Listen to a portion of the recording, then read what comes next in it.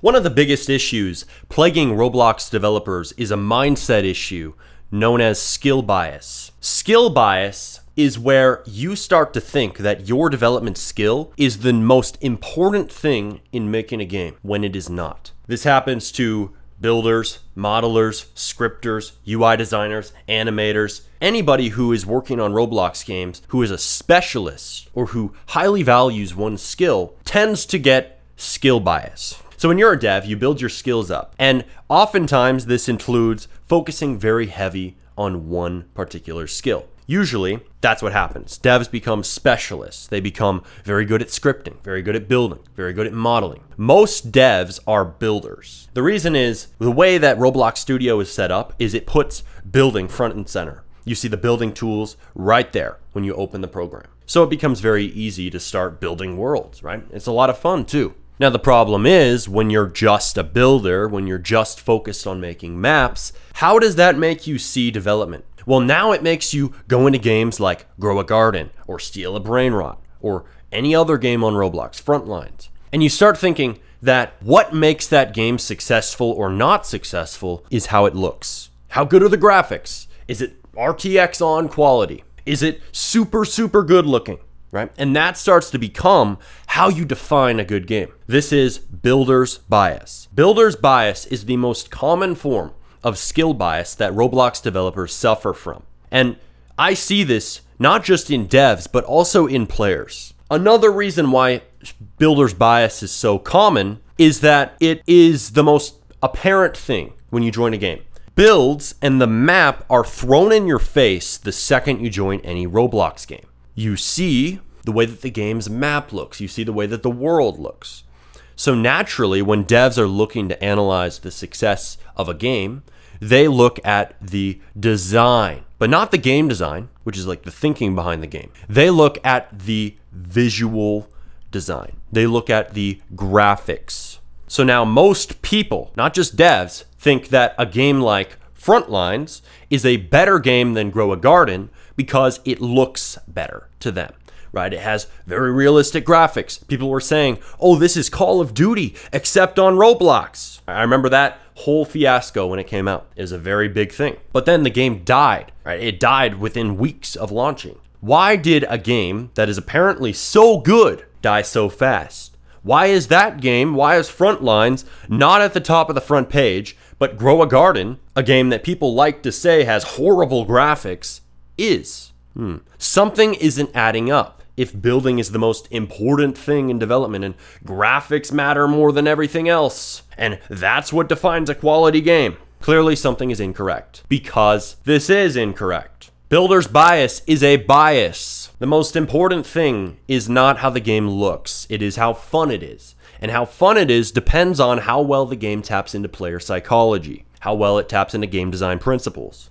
So in reality, it is not graphics and building that is the most important thing in development. It is game design, marketing, and player psychology. This is a hard pill for most people to swallow because it forces them to look at some what most people consider uncomfortable truths about development. That games that tap into dopamine, that games that tap into monetization very well, that games that have techniques to hook you in and hold your retention are what become successful.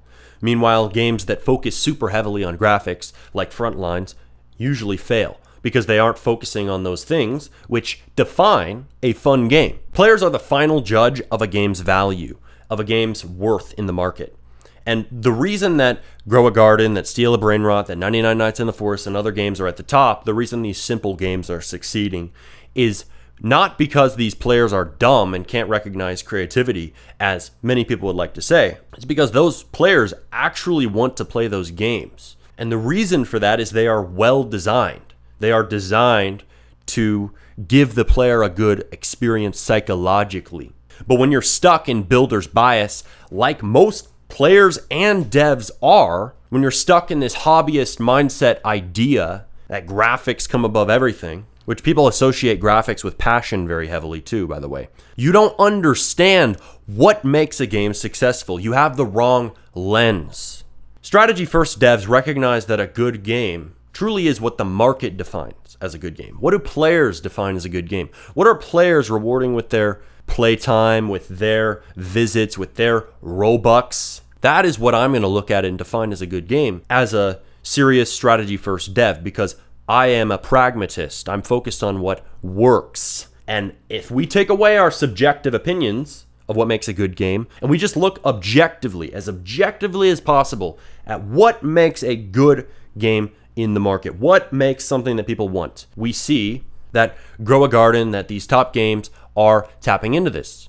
And the fact of the matter is, people want simple games that tap into player psychology, that have a fun, simple core loop. Games that have mechanics that keep you coming back, like your garden growing overnight, which is truly a retention mechanic. People will say, oh, tapping into player psychology is manipulative. Being a businessman is evil, right? They're stuck in this subjective, emotional, moralizing way of thinking, right? Which is all in the hobbyist mindset side of things. And this way of thinking clouds their view of development. It makes it so they, they cannot, they literally cannot see what makes games successful. You want proof? I saw a comment recently. My editor will put it on screen. It was on this video that I posted about whether or not Roblox development can be a viable career. And this guy said that he saw this dev forum post where countless devs were complaining that the passion projects they worked for years on were failing, and they were blaming all the low quality slop,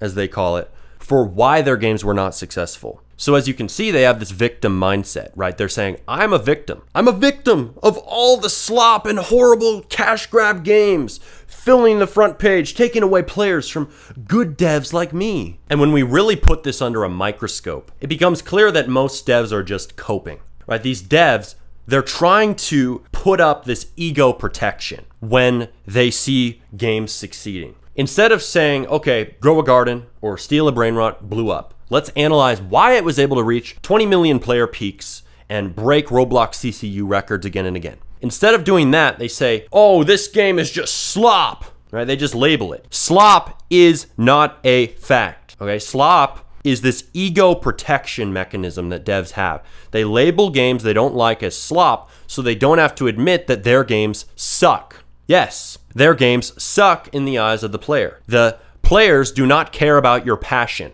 The players only care about the end result. They only care about the game that they see. And if they don't like what they see, if they don't like what they play, they're out of there. They're going to leave. They're going to go play something they actually like, like Grow a Garden. Sitting here calling these games slop is one of the biggest epidemics I see among devs, and this makes most devs fail miserably, right? And the better approach is to become strategy first. The better approach is to make simple games. That doesn't mean you just make cash grabs.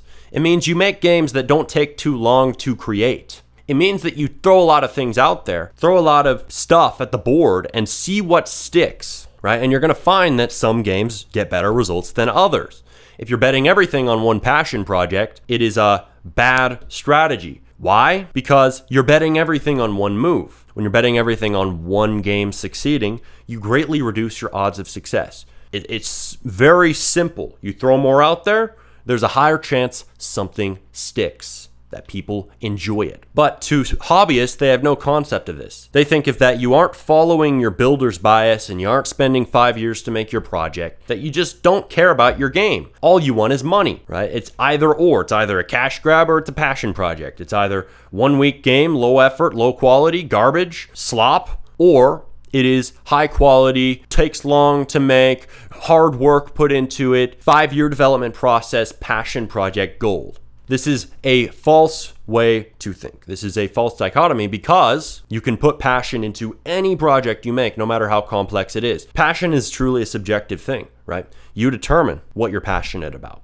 So you can be an artist and a businessman at the same time. That is the mind blowing concept that these people cannot get through their thick skulls. They cannot get this concept through their heads. You can make a game that is simple and you can love that game at the very same time. You can put effort into the 3D models at the same time, but you can cut all the fat and the complexity and the open world map and the RTX on graphics that you don't need to succeed in the Roblox market as proven by games like Grow a Garden, Steal a Brainrot, etc. And you can do very well. In fact, you will do better. Most devs don't have the resources, they don't have the team, they don't have the money, they don't have the leverage or the capital to make complex games. And that's fine, right? Nobody should expect you to. Nobody should expect you as a new dev who just started two weeks ago to be able to make the next jailbreak. But that's what everybody expects of themselves. That's what everybody expects of you because otherwise, oh no, you're just a soulless cash grabber. You're just a soulless cash grabbing dev. This is a false way of thinking, right? Focusing on making money, there's nothing wrong with that. If you're an adult,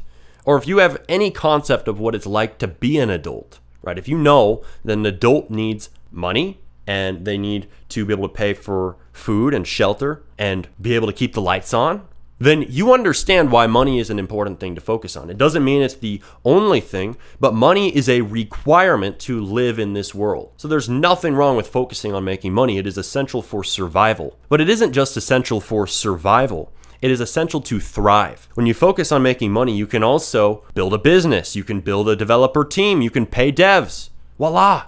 To make better games that you couldn't make on your own or would have taken forever to make on your own. You can not just afford to keep the lights on, you can build better games on Roblox. You can even build your passion projects. Would you look at that? That is an insane idea, isn't it? But for hobbyists, this is just absolutely unfathomable. Their brains will not allow them to compute this information that I'm saying right now. That's why that dev forum thread exists. That's why most devs are hobbyists. They just don't get the information. They don't get the program. They haven't gotten with the new way that Roblox development works. They think Roblox is still just powering imagination when Roblox is now powering business first, then imagination. Powering strategy first, then passion. So accept it, right? It's not the death of creativity. It's not the end of Roblox. It just means you need to take on a different approach in this modern day. Things change all the time in how YouTubers have to operate and how TikTokers have to operate. Audiences change, memes change, times change. Things change in the world. Human society changes. You just have to accept it and evolve and adapt along with it. It's how humans have survived for millennia. That the only way that we're the apex species on, on planet Earth is because of our ability to adapt, because of our intelligence. It's the same thing in the modern day. You need to use your intellect. You need to use your strategy first thinking to get ahead in the Roblox marketplace. It's just part of the process of Roblox changing. And if you're ever going to compete in this marketplace, you need to become strategy first. So, Join Scripting Secrets below if you want to learn more about the strategy first mindset. I'm going to be dropping all kinds of strategy first lessons are dropping as we speak. I truly believe this course will change how you approach Roblox development forever. It will improve your career if you take action on the information inside. You'll also learn scripting. It's one of the best, fastest ways to do that and to get especially a good understanding of the basics. So join that below. I'll see you inside. Click this video here to learn even more about the strategy first mindset, and I will see you next time. Peace.